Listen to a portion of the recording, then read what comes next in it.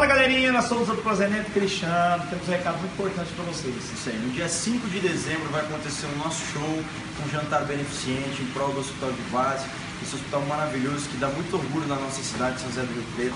Inclusive meu pai, há um tempo atrás, precisou, foi muito bacana, o atendimento é maravilhoso.